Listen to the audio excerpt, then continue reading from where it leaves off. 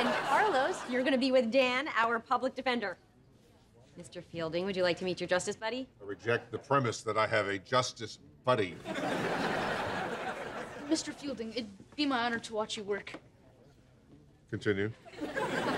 What you do as a public defender is so noble, and may I say, sir, you are one of the true heroes. Not a hero. Just a man who constantly does heroic things. this one will make a fine assistant. Two steps behind me, no eye contact.